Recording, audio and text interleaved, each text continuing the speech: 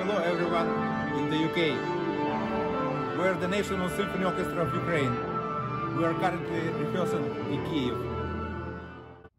We are so excited to announce that in 2023 we will be bringing our orchestra to the UK for the first time in over 20 years for our biggest ever tour there. We have been performing for over 100 years and we think it is important to continue to play and perform during this conflict and show the rest of the world the fantastic culture Ukraine has to offer. We will are so grateful to the people of the UK for uh, the support.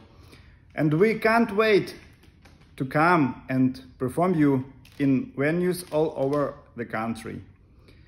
We look forward to seeing you in 2023. Слава Україні! Героям!